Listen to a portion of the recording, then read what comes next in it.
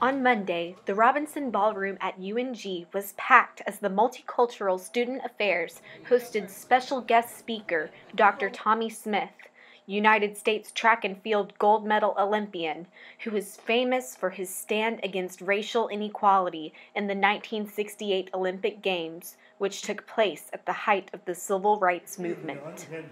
Dr. Smith was invited on campus to deliver a speech in honor of Black History Month. Here are some of the highlights from his lecture. 1968, at the 19th Olympiad in Mexico City, that our Olympic platform birth became our historical stand of silence. Mexico City was my blessing to make a silent gesture heard around the world, a cry for constitutional and humane deliverance. And I still believe that standing for social justice anytime, anytime is redemptive, and the sacrifice en route to that is no greater than those who perished on the historical path of hope fighting for justice. Tommie Smith is often used as a comparison to Colin Kaepernick, the former 49ers quarterback who caused controversy by kneeling during the national anthem on several occasions. Dr. Smith gave his thoughts on the comparison.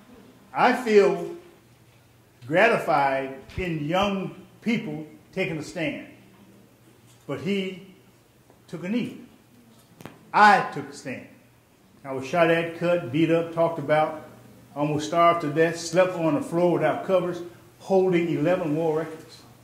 I was banned from competition for the rest of my life because I stood, stood up for against inequality on platform.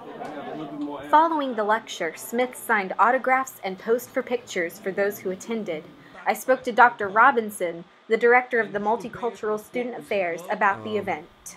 Dr. Smith made a very significant sacrifice in his early 20s, the same age as many of these college students, to make a stand about social justice, to talk about poverty, that people are struggling in America.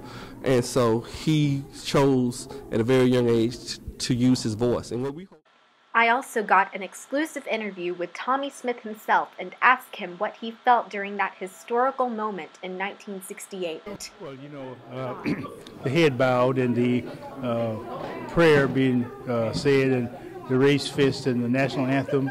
And I was ROTC, loved the Army. And I was there thinking about, oh, after this, I'm going to serve my country. I'm going to do some things that's going to really make me feel better, better than I do now. I was very passionate, patriotic type person, but this needed doing because I had a charge. Um, do you think that the civil rights movement has, are you pleased with the progression it's made? Are you still thinking that we have a really long way to go? We always have a ways to go.